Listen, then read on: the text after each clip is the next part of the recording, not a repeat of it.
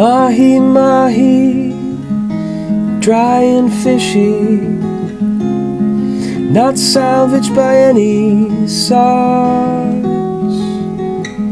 Sushi grade, ahi tuna, dry and gray, not fresh. Albarino was flat and uninspiring. Desserts were fair to middling.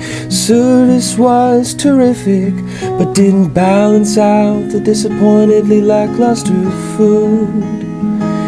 Fish House should easily be able to nail the fish.